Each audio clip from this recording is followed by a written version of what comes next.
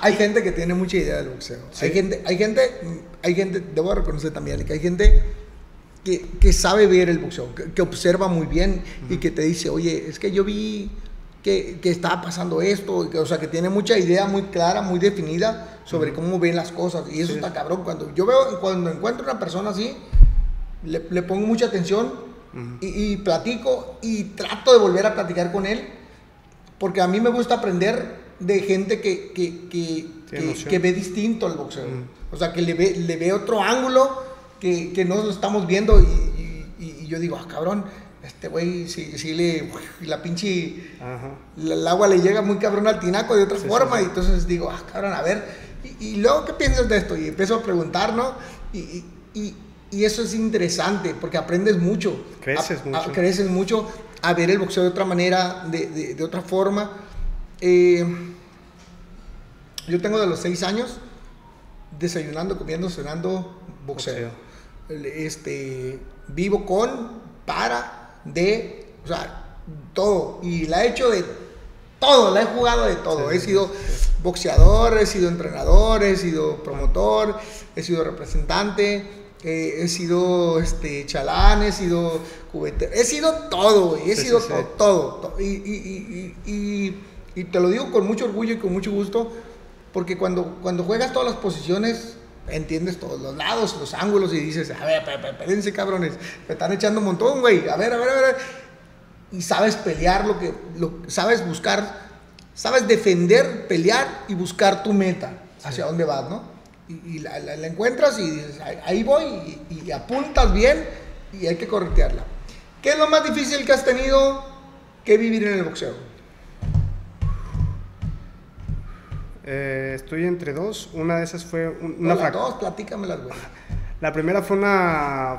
No, no, no, es que esta va a consecuencia de la primera. ah, perdón, esta primera, dale, dale, dale, dale, La primera, la relación que te, que te con, pues, con el sistema. Sí. El sistema no voy a decir, no voy a definir quién es, el sistema, porque recuerdo que veníamos de muchos eventos y varios dijimos, güey, estamos cansados, o sea, no queremos pelear, nos querían en un ya nos querían pelear en, un torneo nacional que era de paga y todos dijimos, es que venimos, venimos de dos torneos consecutivos, o sea, ¿para qué pelear aquí con los del, país? Mejor que peleen ellos y los campeones los pelean luego con nosotros, literal estábamos cansados y dijeron, no, no, tienen que pelear porque da publicidad el hecho de que estemos seleccionados nacionales en un torneo.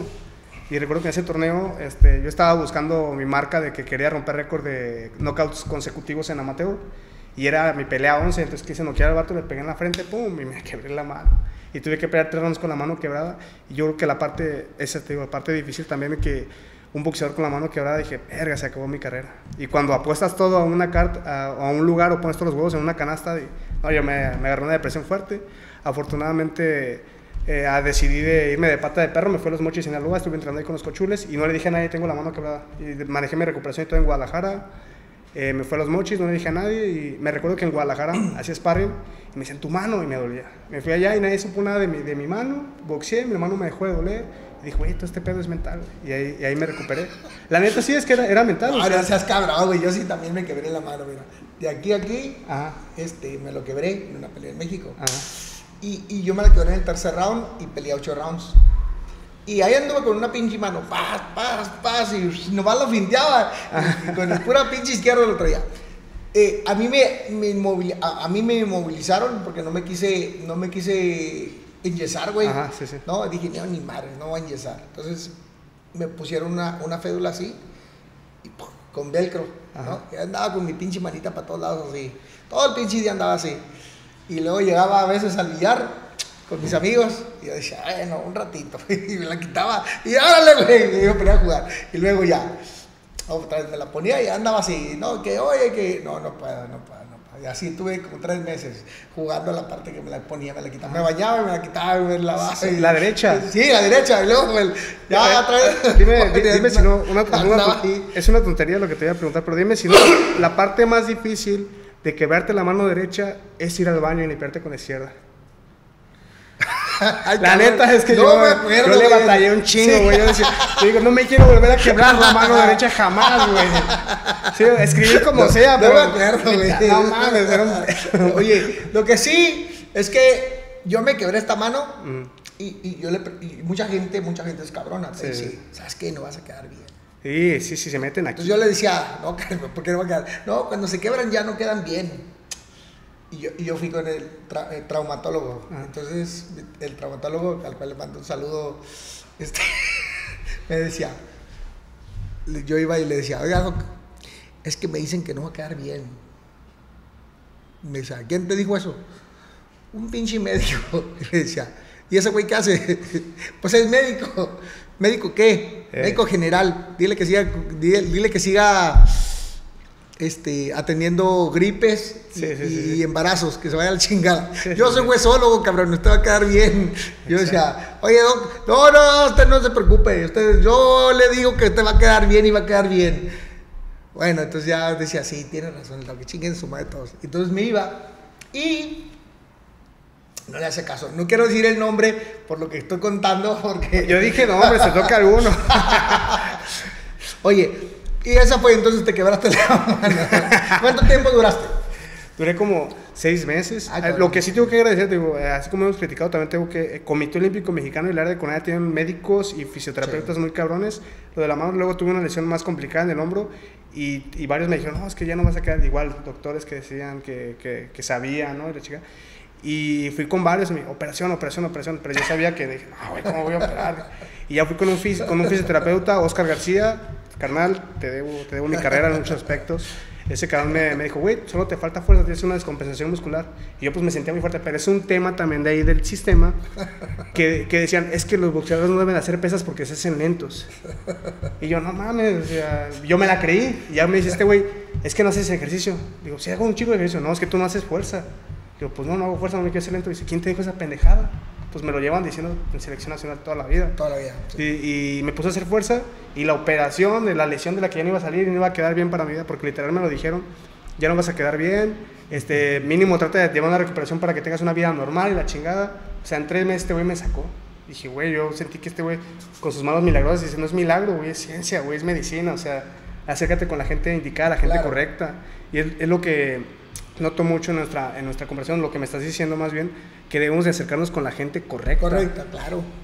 porque si vas con un, médico que, ay, no, no puedes, no vas a poder boxear, o, ¿sabes qué? Tienes una desguince de pie, no lo muevas. Y te dice, si vas con un fisioterapeuta que sabe, te va a decir, muévelo, güey. El esguince se recupera moviéndolo. O sea, es que son gente que, que, sabe y es la, la Sí, es lo más importante. Mira, yo como entrenador y responsable de un equipo, eh, en alguna parte uno, de mis peleadores se lastimó una mano. Y, entonces alguien dice ahí, ah, yo conozco un sobador. Y dije, no, sí está chingón, pero primero vamos al doctor. ¿no? Entonces me dijo, no, que, vamos al doctor. Y de entrada, más vete, sácate radiografía, sí, ya no el pinche doc tampoco me, me, diga, ay, quiero hacer No, no, hay que anticiparnos a todo. Vamos y llegamos. Y entonces me dice me dice el doctor, Ah, cabrón, ¿y por qué me trae radiografías? No, porque luego me va a salir con que, ve a hacer radiografías. No, aquí está todo de un calor. dígame qué chingón tiene, denle lo que le tenga que dar. Y, entonces me dice, ah, muy bien, doctor Morales. No, pichido, lo que pasa es que no quiero que luego me salga con que. Tanto tiempo y no. Pues, no quiero que luego me salga, oye, este. alguna pendejada, ¿no? No, que hay que hacerle radiografías. Y ya, lo revisó le di una pastillita y se resolvió todo rápido porque era ni siquiera era algo grave, ¿no? Era, un tema muscular. Y ya. Pero, pero, pero hay que ir con las personas correctas, ¿sabes? Este, yo creo que eso es uno de los, los, mayores problemas que tengamos. Y aún, aún no teniendo dinero, aún siendo, aperreándola, yo creo que siempre hay una forma de cómo llegar con un médico y decirle, oye, échame la mano, güey, no tengo dinero, pero mira, tengo este problema. Y, los médicos siempre jalan. Los médicos siempre jalan, siempre ponen su granito de arena con los deportistas. Yo nunca jamás he visto o me haya tocado ver que un médico diga, no, si no me pagas no te atiendo. No, espérate, güey. Siempre jalan, siempre hay maneras de cómo el deportista pueda ir con un médico para una lesión, para un apoyo. Bueno, aparte, eh, yo creo que la salud y el tiempo son recursos no renovables. El dinero sí. Y por mucho que digamos, estamos jodidos, siempre hay como para sacarle. Y para la salud, yo creo que es algo de lo que no hay que medirnos. Tenemos celulares caros, tenemos planes de internet, tenemos cosas que pagamos que digo, güey, puedo sobrevivir sin internet una semana, pero puedo sobrevivir sin una lesión que más adelante me va a perjudicar en mi vida diaria y aparte en mi deporte, pues no.